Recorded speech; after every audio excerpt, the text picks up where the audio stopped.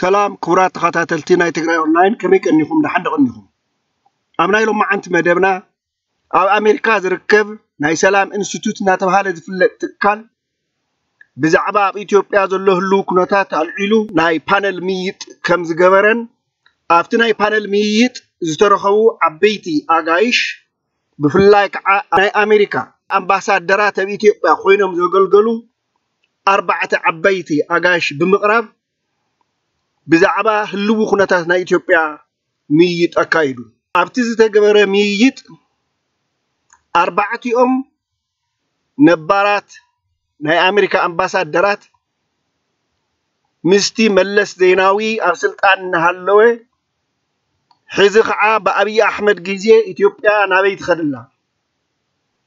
ኢትዮጵያ ከም ሃገር በዚ ጉጅለ ናይ ኣብዪ ኣሕመድ እናተመርሐት ናበይ ተምርሕ ከም ዘላ ምይይጥ ኣካይዶም እቲ ነቲ ኣኼባ ዝኸፈቶ ኣምባሳደር ጆኒ ካርሰን ዝበሃል ዓብዪ ናይ ኣሜሪካ ነባር ዲፕሎማት እንትኸውን ኣብቲ መወዳእታ መኽፈቲ ናይቲ ኣኼባ ኣብ ዝገበሮ ዝርርብ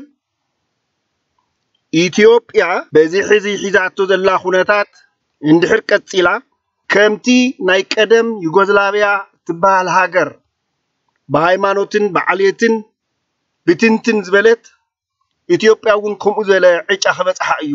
ናብ ምብትታን ክትከይድ እያ ዝብል ዓለም ለኸ ገምጋም ከም ዘሎ ሓቢሩ። እዚ ገምጋም እዙይ ብዙሓት ኢትዮጵያውያን እውን ዝበፅሕዎ መደምደምታ እንትኸውን ካብ መሬት ተላዒሉ ዝዝረብን ዝበሃልን ነገር ዘይኮነስ ካብቲ ጭቡጥ ወድዓዊ ኩነታት ናይ ኢትዮጵያ ብምርኣይን መንግስቲ ኣብዪ ኣሕመድ ነቲ ዓዲ ናበይ ይመርሓ ከም ዘሎ ብምስትውዓልን ዝተገብረ መደምደምታ ወይ ዝተበፅሐ መደምደምታ እዩ President Abiy's blitzkrieg of reforms have been widely noted by those in the human rights and the democracy communities. They've been widely praised by those in the international community as well. But concerns are now growing that the euphoria around Prime Minister Abiy's changes are both masking and unearthing deeper problems inside of Ethiopia. A growing number of observers are starting to ask whether Prime Minister Abiy is simply moving too fast and whether the reforms he has initiated are generating instability and security and hostility in Ethiopia's ethnically based federal system of governance. One of the most worrying of concerns is the resentment and resistance that is building up against him and his government in Tigray province, the home of Ethiopia's once all powerful security chief, Getachew Assefa. Although three arrest warrants have been issued for Gachacha, he remains free and at large in Tigray, where he is being shielded and protected by the regional federal authority. Ethnic tensions are also bubbling up in other parts of the country. Concern about the pace of change and reform has led two journalists to recently raise the specter that the political situation in Ethiopia could slowly deteriorate and that the country could experience the same type of ethnic, regional, and religious fragmentation that tore Yugoslavia apart two and a half decades ago. እዞም ዓበይቲ ናይ ኣሜሪካ ናይ ዲፕሎማሲ ሰበስልጣናት ብዙሓት ኢትዮጵያ ዝምልከቱ ኣርእስትታት ኣልዒሎም ዝተማያጡን ዝተዛረቡን እንትኾኑ ብፍላይ ከዓ እቲ ኣብ ኢትዮጵያ ዘሎ ፌደራል ስርዓት የዋፅእ ዶ ንሱ ድዩ ንኢትዮጵያ ክዋፃእ ዝኽእል ከም ሃገር መጠን ሓንቲ ሃገር ኮይና ንክትቅፅል ከይትፈራረስ ከይትባታተን እዚ ሕዚ ዘሎ ፌደራል ስርዓት መማረፅ ኣሎ ዶ ወይስ ንሱ ጥራሕ እዩ ዘዋፅእ ዝብል ሕቶ ኣልዒሎም እውን ተባሂጦም እዮም ኣብቲ ምይይጥ ኣርባዕቲኦም ዓበይቲ ናይ ኣሜሪካ ናይ ዲፕሎማሲ ሰበስልጣናት ብዘይ ምንም ክትዕን ብዘይ ምንም ኣፈላላይን ዝተሰማምዕሉ ነጥቢ እንተሃልዩ እቲ ሕዚ ዘሎ ቋንቋ መሰረት ዝገበረ ናይ ኢትዮጵያ ፌደራል ስርዓት መማረፂ ከም ዘይብሉ እዮም ተኣማሚኖም ደምዲሞሞ። ብፍላይ ኣምባሳደር ዶናልድ ቡዝ ዝገበሮ ትንተና ብጣዕሚ ዝድነቕን ብጣዕሚ ዝነኣድን እንትኸውን እቲ ኣብ ኢትዮጵያ ዘሎ ኣብ ቋንቋ መሰረት ዝገበለ ፌደራል ስርዓት መማረፂ ከም ዘይብሉ። እቲ ሃገር ከም ሃገር መጠን ሓንቲ ሃገር ኮይና ክትቅፅል እንተደኣ ኮይና ኣብ ቋንቋ መሰረት ዝገበረ ፌደራል ስርዓት ንኢትዮጵያ ትመማረፁ ዘይብሉ ስርዓት ከም ዝኾነ እዩ ገሊፁ እዚ ሃገር እዚኣ ከም ሃገር እንተቐፀለት ብጣዕሚ ፅቡቅ እንድሕር ናብ ምብትታን እንድሕር ከይዳ። ንሕና ከም ተጋሩ መጠን ትግራይ ከም ዓዲ መጠን እንታይ ክትከውን እያ? እንታይ ክመፀና ይኽእል? እንታይ ከ ክንገብር ንኽእል? ፀገማቱ ምዕቡል ጎኑ ድኹም ጎኑ ገምጊምና። ንዝኾነ ይኹን ነገር ክንዳሎን። እዚ ኩነታት ተበኣይሱ ናብቲ ብርኪ ንሱ ቅድሚ ምብፅሑ እንታይ ክንገብሮ ንኽእል? ቅድመ ኩነት ኣሎ። እንታይ ክንገብር ንኽእል ዝብል ሕቶ ሓቲትና መልሲ ብምሃብ ዘድሊ ምድላዋት ብመንግስቲ ደረጃ ብህዝቢ ደረጃ ብካልኦት ሲቪላዊ ዝኾና ትካላት ደረጃ ዘድሊ ኩሉ ቅድመ ኩነት ክንገብር ኣለና in any country where there is uh, multiple ethnic groups, there's the potential for uh, ethnic clashes. But what is perhaps different in Ethiopia is that you also have an explicitly ethnically federal state. I mean, that's how it's set up in the constitution. So the big question, and I'm glad you mentioned uh, what you just did, uh, Ambassador Shinn and Ambassador Bass. Thank you for bringing up the rural nature of this because I think that also feeds into this. But the big question here is, in some respect, do you think ethnic federalism is sustainable? Is this still a model that can work? And how does that look then in terms of all of the other uh, prescriptions or actions that may be necessary to pursue? I mean, it's a big question, but it's an important one for the country. I think that's the fundamental question that Ethiopians need to address.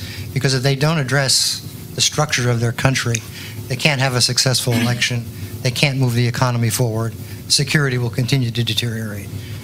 You already have 3% of the population who are internally displaced because of ethnic tensions, uh, displacements. Um, I personally think that a federal structure in a nation that has uh, very different uh, identities for its different components makes the most sense. Now, most opposition parties in Ethiopia, at least while I was there, their main complaint was this was a divide and rule tactic by the minority Tigrayans.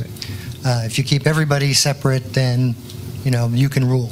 Well, what's the alternative? I mean, if you look at the history of Ethiopia, it's a series of strong rulers at the center, usually from the Amhara region, uh, but the highlands, who managed to cobble together a kingdom or an empire, and then maybe when the ruler is a bit weakened or there's a weak successor, you have rebellion from the periphery or attacks from the outside, and it all collapses. And then you need to wait for another strong leader to put Ethiopia back together again. This is a fundamental issue that I think Meles was grappling with. Uh, I was told that there were many, many late night, all night sessions he had with um, Huntington of uh, Clash of Civilizations fame. Uh, discussing how do you structure a government in this country. Mm-hmm. And what came out of it was ethnic federalism. Now, I've had Ethiopians tell me, well, we should just have a normal federal structure like the United States does. And I say, well, how do you draw state boundaries? I mean, those have already been drawn by long history of, of ethnic groups. So, you know, ethnic federalism is probably the least worst uh, option in my mind for long term stability in Ethiopia. Just if I could add one little historic point to that. I, I think that when, I think what you said is, actually, is, is absolutely on the money. When, when Meles was first in Addis Ababa, had the transitional conference going on, the national conference going on, he clearly feared a descent into civil war. He clearly feared that somehow um, I don't know, the Oromos wouldn't be happy, or the Amharas wouldn't be happy, or something would happen, and and he knew that the last thing Ethiopia needed after the long war that they just got over with was another war. And so I think he did kind of fall on this, maybe just out of expediency, maybe the you know, it was the least bad choice, and I, I think it made a lot of sense at the time. I'm not convinced it makes sense 30 years later, but here we are. I might, I might, I might just add, I, I had a, a meeting with Meles after I had been ambassador. It was probably in 2006, maybe 2007, and I asked him specifically if he was convinced that ethnic federalism was the right policy for Ethiopia. And his response was kind of interesting, almost typical Meles. Uh, he said, "Look, uh, Mr. Ambassador, we uh, we've we tried uh, authoritarianism, we tried imperial rule." Uh, we tried communism under the Derg. We tried uh, military rule, and none of them worked. So we've got to try this one now. And his final remark was, and I'm convinced it will work.